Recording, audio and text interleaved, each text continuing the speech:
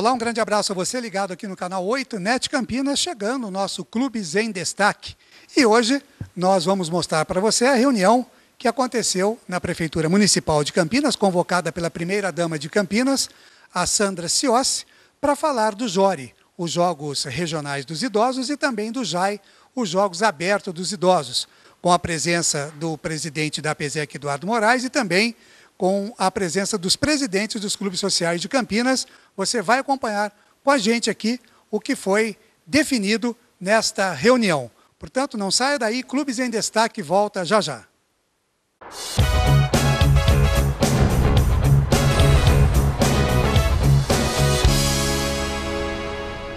SM Estúdio e produtora de vídeo. Há mais de 20 anos oferecendo as melhores soluções para trabalhos em áudio e vídeo produção de institucionais, vídeos corporativos, programas e comerciais para a TV, vídeos de treinamento, filmagem de eventos, vídeos para internet, jingles, locuções e muito mais. SM Estúdio e Produtora de Vídeo www.smestudio.com.br Telefone 19 3272 9725 Campinas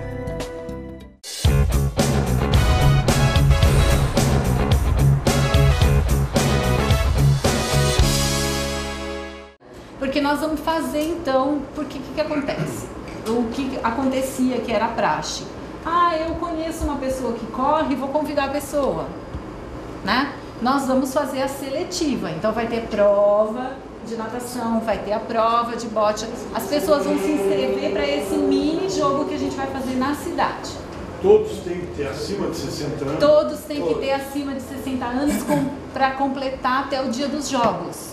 Então, se eu tenho 59, mas faço 60 até agosto, tá valendo. E nesta reunião importante na Prefeitura Municipal de Campinas, aliás, esta reunião que foi é, provocada pela primeira-dama de Campinas, mais especificamente falando do esporte. Vocês já vão entender nesse preâmbulo que eu fiz o que é Jore e o que é Jai. E o que tem a ver a primeira-dama, a esposa do Jonas Donizete, a Sandra Ciossi, com estes Jogos dos Idosos. Sandra, primeiramente, é a primeira vez que você fala com a gente aqui no Clubes em Destaque, o programa da APESEC, e obviamente nós tínhamos que estar aqui hoje também, porque onde os clubes estão, a TV da APESEC e o Clubes em Destaque está também. Parabéns, primeiramente, por essa iniciativa. Obrigada. Obrigada pela presença de vocês e obrigada pela presença de todos os clubes aqui nas, na, nessa reunião. É muito importante é, nós estamos fazendo o lançamento da seleção, da seletiva para formar uma seleção da terceira idade. Então nós vamos levar os nossos atletas, mais de 60 anos, para a competição, primeiro regional, depois estadual. Esperamos que os nossos atletas tenham um bom rendimento na, na, na regional para poder ser classificados e Campinas está na final. Exato. Então é para você que está curtindo aqui o Clubes em Destaque, é bom explicar que tem este JORE, que são os Jogos Regionais dos Idosos, que vai acontecer em agosto deste ano. E o JAI, que a gente vai falar já já para vocês, mas primeiro do JORE, Sandra. Então, essa seleção é, dos clubes vai ser feita a partir agora do mês, é, já desse mês aqui de março. Isso, a partir do dia 10 de março, a Prefeitura começa a receber inscrição dos atletas com mais de 60 anos ou que estiverem completando 60 anos até o dia dos Jogos.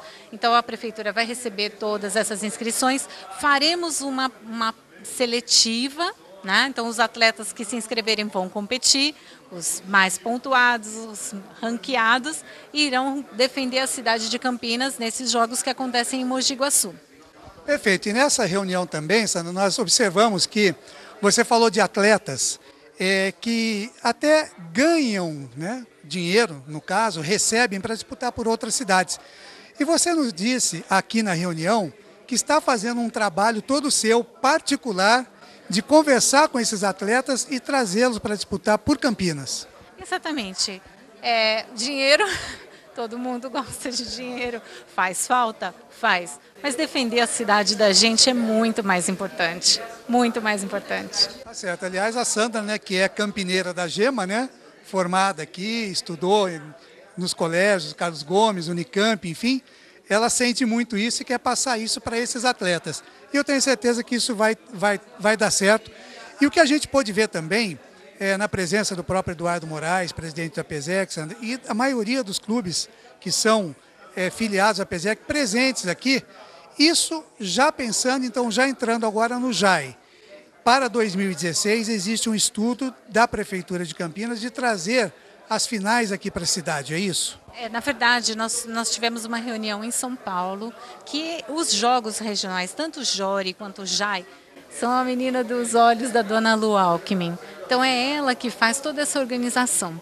E nós fomos convidados para ser sede no ano de 2016 do JAI. É, foi um convite por isso dessa reunião com os presidentes de clube, por quê? Para que Campinas aceite ser sede, nós precisaríamos de todos os clubes que eles cedessem o espaço para competição. São 5 mil idosos que chegarão para competir. Então, só os espaços públicos não são suficientes. Então, essa reunião aqui foi para pedir o apoio dos clubes para que eles cedam o espaço deles de piscinas, de quadras, de salas de cartas, de todas as modalidades, para que nós possamos sim aceitar ser sede. Muito bom. Então, você que curte aqui o nosso Clubes em Destaque, você que é associado dos clubes, fique atento. Você que tem mais de 60 anos já pode procurar os seus diretores de esporte e se preparar para fazer as suas inscrições e participar do Jore e classificando, quem sabe, também do JAI, com as finais aqui em Campinas. Ô Sandra, aproveitando também a sua participação aqui no nosso Clubes em Destaque, queria que você falasse também é, do seu trabalho enquanto primeira-dama. Aliás, uma primeira-dama é diferente, né? Desde quando você, desde quando o Jonas assumiu, você já disse que não queria um compromisso com aquelas coisas que você é, não tinha conhecimento, que você gostaria de trabalhar dentro das coisas que você gosta de fazer, que tem os seus conhecimentos, os seus afazeres quase que diários. Então conta um pouquinho para a gente como é que está sendo, já depois de dois anos, essa experiência de primeira-dama da cidade de Campinas. Olha, muito bom aprender com cada um dos profissionais. Porque quando as pessoas me perguntavam se eu ia ser secretária disso ou daquilo, eu explicava para todo mundo que eu tenho uma formação em música. Né? Então não posso ser uma secretária de assistência social porque é uma outra formação. Mas eu fico muito feliz porque eu tenho aprendido com esses secretários, porque às vezes eles me envolvem nos projetos deles, me chamam ali para compartilhar aquele momento. Então, tenho aprendido na educação, tenho aprendido no esporte, tenho aprendido em várias secretarias. Isso é muito gratificante. A gente aprender é sempre bom.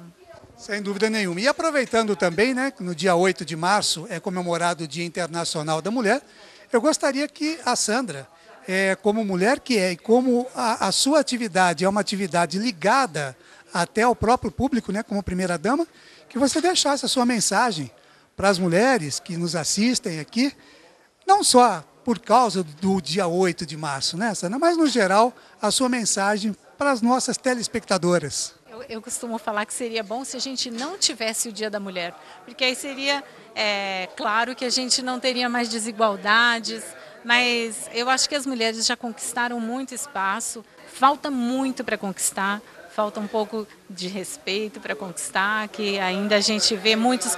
É, é, muito diferente a gente falar do Brasil sabendo de outras realidades, né? Mas nós estamos é, caminhando e a gente vê que cada vez o respeito aumenta mais pelas atividades que a mulher desempenha e pela atenção que a mulher dispensa em tudo aquilo que ela faz. Então, eu desejo um feliz Dia das Mulheres para todas as mulheres principalmente para as campineiras, e que um dia a gente não precise mais ter esse dia. É muito bom. Fica a mensagem, então, da primeira-dama de Campinas, a Sandra Cios, conversando com a gente aqui no Clubes em Destaque, hoje nessa reunião importante aqui, e a primeira-dama tratando do esporte, assim como ela trata da cultura, de outras secretarias que ela ajuda também, agora é o esporte. E o Clubes em Destaque da PESEC veio aqui conferir para você. Cada um vai ser por não equipe. vai ser por equipe. Seletiva. Vai Muito ser, bom. a gente vai ter um técnico Vai que jogar vai as escolher melhores. os melhores, exatamente. E eles vão selecionar Não é melhores. Tanto tênis de mesa, ah, tudo quanto é a modalidade. Ao lado do presidente da PESEC, Eduardo Moraes, presente também nessa reunião importante aqui no quarto andar da Prefeitura, reunião esta convocada pela primeira-dama Sandra Ciossi, para falar de Jore e Jai. E nós já explicamos aqui o JORE, né, os Jogos Regionais dos Idosos, que vai acontecer esse ano. E Campinas já vai participar, só que desta feita numa seleção que vai ser formada na cidade de Campinas, e para isso é que os presidentes estiveram aqui, o Eduardo como presidente da PESEC, trazendo para cá os presidentes dos clubes, Eduardo, para mais uma vez também atender a prefeitura e desta vez o chamamento da primeira-dama, que também está olhando para o lado do esporte, né, Eduardo? É importante isso aí. É, ela pôs, a partir do gabinete dela, aqui com a primeira-dama, ela está trazendo isso para ela. Isso aí vai ter certeza que vai, vai progredir, vai dar certo. Você vê umas modificações de interesse que ela correu atrás, fez. É, um dos exemplos é, abandono o alojamento e vão tudo para os hotéis, né? Estão fechando isso aí. Então, acho que dá uma, uma tranquilidade para as pessoas da melhor idade.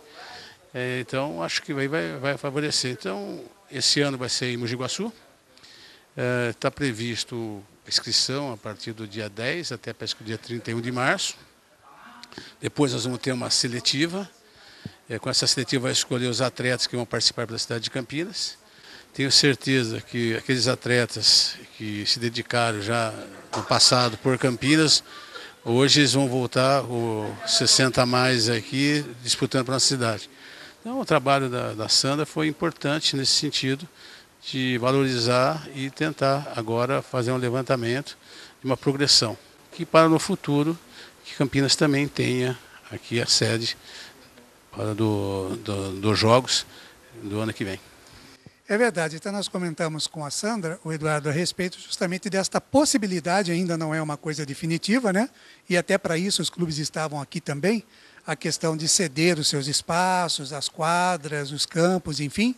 Mas uma possibilidade do JAI, né, os Jogos Abertos do Interior, terem as suas finais realizadas aqui em Campinas no ano de 2016. Isso ainda, como ela disse, está em estudo e para isso os clubes vieram para cá para conversar. Mas é mais um passo importante também para que é, esse pessoal da melhor idade que frequentam os clubes sejam também reconhecidos, né, o Eduardo, e possam estar aí em atividade. É, então vamos dividindo. Para esse ano, os clubes colocaram à disposição os seus atletas da melhor idade, aí, ou da 60 a mais. Todos os clubes que esteve aqui presentes tinha atleta, já disponibilizou.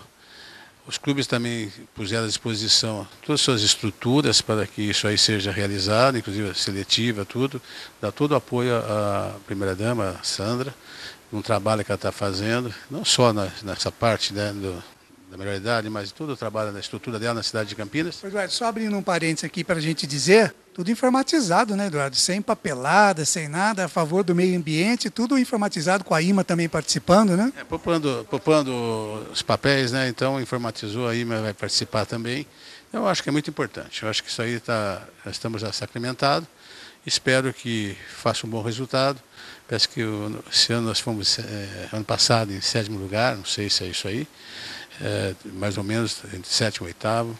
Mas eu acho que esse ano aqui nós temos que chegar uma posição melhor para nos classificar bem e para poder representar Campinas com dignidade.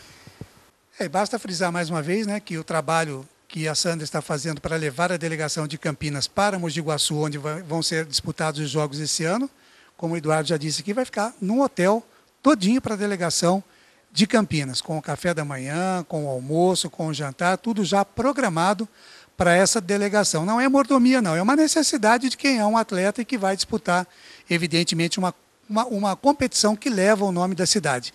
E o importante frisar também, não, Eduardo, a presença e o papel é, da APESEC nesse sentido, né, de regulamentar tudo, de levar para os presidentes dos clubes e de ser exatamente o elo de ligação entre a prefeitura, as diversas secretarias, nesse caso estamos falando é, da primeira-dama, mas ser o elo entre os clubes e a Prefeitura de Campinas. Um papel importante da PESEC. É isso, vou voltar atrás, quando o Jonas é candidato, nos procurou como amigo e nós apoiamos, aí, inclusive até nas gravações.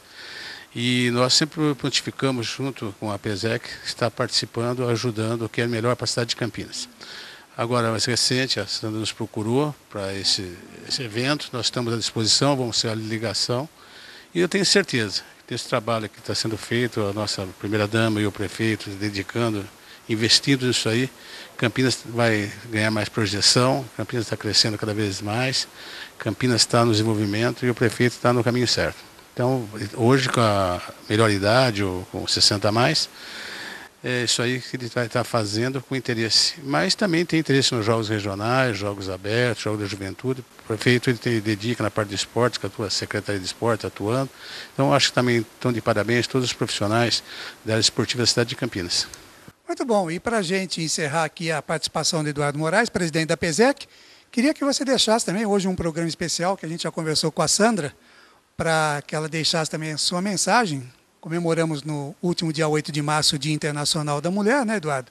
Que você deixasse também aí a sua mensagem, principalmente às nossas telespectadoras e às mulheres dos nossos clubes aqui de Campinas. Todas as associadas dos clubes, ah, as diretoras de clubes, conselheiras, presidente, né, uma presidente de clube, uh, e as nossas, uh, que nos assiste, né, os assinantes da Canal 8, da NET, para elas, sucesso, proteção, que as mulheres são batalhadoras, trabalham-se 24 horas, se dedicam 24 horas, e a mulher, ela tem uma projeção muito grande nesses últimos anos, que vem cada vez mais eh, dando sustentação para nosso país, para nossa nação, que a mulher trabalha. Então, a todas as mulheres, nossos parabéns pelo seu trabalho, pela sua dedicação para com a sua família, para com a sua cidade, seu estado e a nossa nação.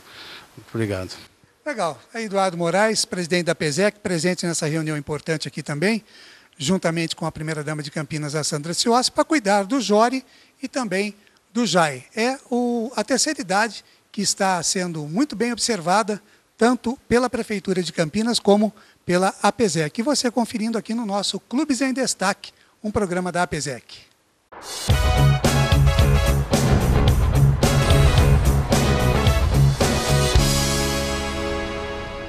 SM Estúdio e produtora de vídeo. Há mais de 20 anos oferecendo as melhores soluções para trabalhos em áudio e vídeo produção de institucionais, vídeos corporativos, programas e comerciais para TV, vídeos de treinamento, filmagem de eventos, vídeos para internet, jingles, locuções e muito mais.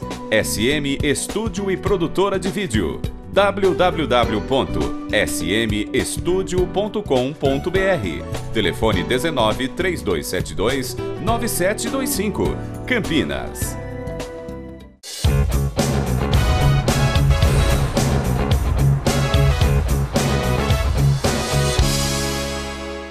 Você pode nos ver também no YouTube. Para ver ou rever o nosso programa, é só você acessar o site da APESEC, www.apesec.com.br. Lá você vai encontrar um link para ver ou rever o nosso Clubes em Destaque no seu computador. Clubes em Destaque, um programa da APESEC. Então, é, dois, duas coisas que eu chamei vocês para pedir aqui. Primeiro, para saber quem, quem é o clube que pode ceder espaço para a gente ser sede do JAI o ano que vem. E a segunda coisa é pedir para que vocês movimentem esses atletas para vir aqui no dia 10.